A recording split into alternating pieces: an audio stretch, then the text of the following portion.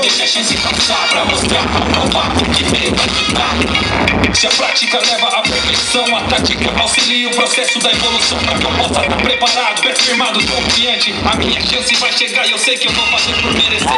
Vou agarrar com unhas e dentes, me mostrar presente, independente do que vier quente. Uma dica, deixa que eu conte. Amanhã serei melhor que hoje, assim como eu sou melhor que ontem. Lacrou, a ideia é essa de mexer pra fazer acontecer e não esperar pra ver o que vai dar. Porque sua chance pode passar, você pode não ter outra, então melhor aproveitar. Pois lamentar não tá nem em cogitação. Cessa aqui, vim aqui pra dar mais que minha opinião. Sou testemunha ocular das chances que a vida dá, das chances que a vida toma e poucos sabem aproveitar. Muitos querem uma chance, mas poucos estão preparados. Não enxergariam e se ela sentasse do seu lado. O que falta é crer, o que falta é querer. Quantas chances perdemos com medo de? O que falta é correr pra ver acontecer. Quando ela aparecer, cê saber o que fazer. Não importa o que ocorrer, é você quem vai saber. Vai lutar, vai sofrer, vai viver para ver.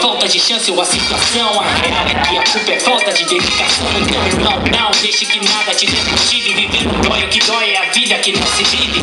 Nunca foi fácil, pois não existe atalho. Só no dicionário, sucesso vem antes do trabalho. É melhor estar preparado e olho no lance. Pois só assim você vai conseguir aproveitar a sua chance. Quem teve não aproveitou.